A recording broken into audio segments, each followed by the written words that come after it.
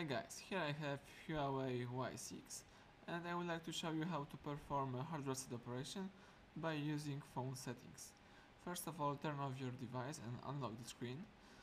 Then look for the settings and select it. Here I've got settings, let me do it. Now scroll to the privacy and security and choose backup and reset.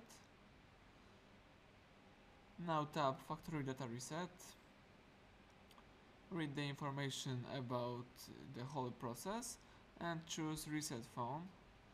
And if you are sure about your decision, choose reset phone again. And now your phone is deleting all data and customized settings. Wait until the operation is completed.